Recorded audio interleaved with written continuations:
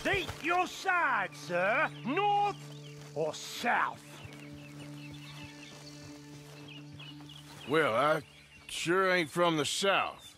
Lucky for you. Captain Hayden Russel, 29th Ambarino Volunteer Infantry. Do you bring news from General Skollik? Who's General Skollik? I'm awaiting orders. We will move on Lemoyne soon and take Saint Denis from the rebels. You do know what year it is, right? What kind of question's that? 1862, April 14th.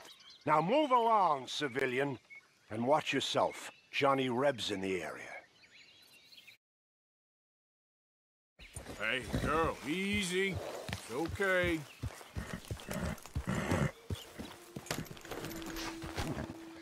North or south? State your side, sir. I ain't no southerner, if that's what you're worried about. I am worried. Very worried indeed. Captain Hayden Russel, 29th Ambarino Volunteer Infantry. We've met before, you know. I never laid eyes on you in my life.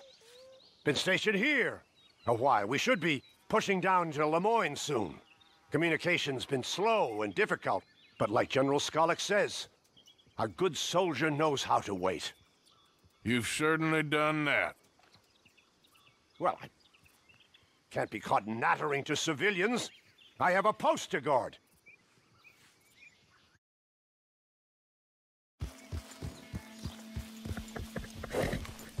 Are you with the Union?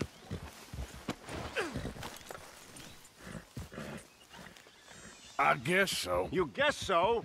You're a civilian? Of sorts.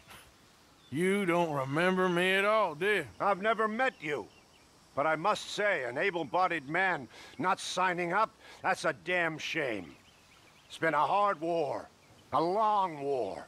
Very long in your case. Now, we're moving on Lemoyne soon. I'm just waiting for word from General Skollik. There's been some activity on the telegraph, so I'm sure it's any day now. And until then? I keep my uniform washed, my boots polished, my rifle clean. You don't need to be stuck out here no more. Do you want me to take you to the nearest town?